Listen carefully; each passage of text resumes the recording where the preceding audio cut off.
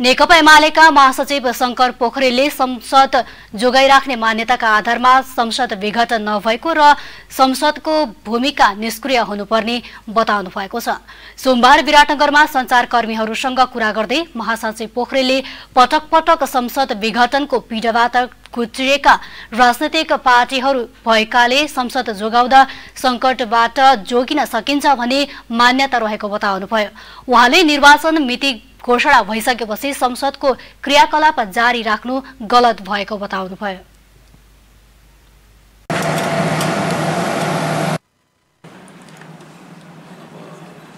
पटक पटक हामी संसद विघटनको पीडाबाट गुज्रेका राजनीतिक दलहरू संसद जोगाउँदाखेरि चाहिँ सङ्कटबाट जोगिन सकिन्छ भन्ने मान्यता अन्तर्गत हुन्छ।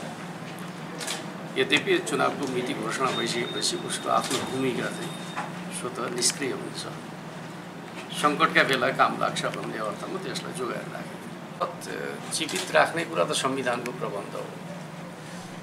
तर अब संसद महासचिव पोखरेलले महाभियोग गलत नियतले ल्याएको भन्दै राजनैतिक स्वार्थको लागि भएको सामूहिक सौदाबाजीमा प्रधान न्यायाधीश सँगसँगै प्रधानमन्त्री पनि दोषी हुनुपर्ने बताउनुभयो। उहाँले महाभियोगको प्रक्रिया सुरु भइसकेकोले यसमा एमाले सक्रियताका साथ छलफलमा बस्ने जानकारी दिनुभयो। महासचिव पोखरेलले अदालतभित्र विकृति र विसङ्गति रहेकोले यसलाई सुधार गर्नु अहिलेको आवश्यकता भएको बताउँदै अदालतका फैसलाहरू र क्रियाकलापहरू जनताको नजरमा राम्रो नभएको बताउनुभयो।